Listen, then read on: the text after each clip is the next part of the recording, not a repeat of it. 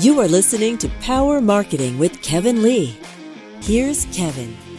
People don't don't realize the emotional toll that you know a a you can say anything to anybody ecosystem puts on people, and I think that makes it harder for advertising to break through too. Uh, oh, absolutely, absolutely. Talk about it's a brand unsafe environment. I mean, that's a real yeah. brand unsafe environment.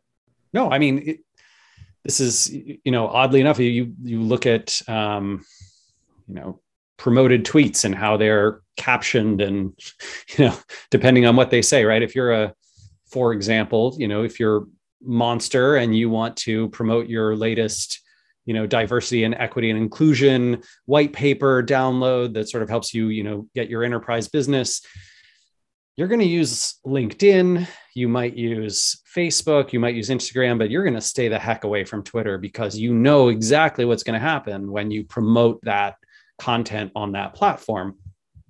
And, you know, frankly, I think Twitter uh, has absolutely has the ability and really the, in my opinion, the obligation, both for their shareholders and for the broader community, to make it a more brand safe environment and to make it a safer environment generally for folks. And the whole conversation around, you know, freedom of speech um, makes no sense to me because the, the concept of freedom of speech is that Congress doesn't make laws prohibiting Twitter from being able to kick off who they want to kick off.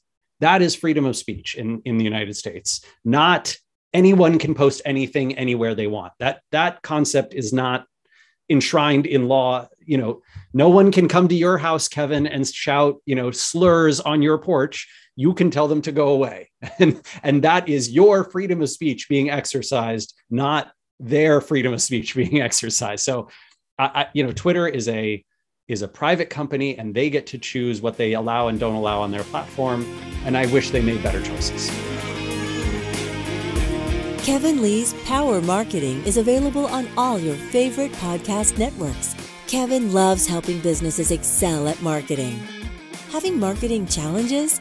Just like Santa in The Miracle on 34th Street, if Kevin can't help you, he'll know someone who can. Find him on LinkedIn, subscribe, or follow.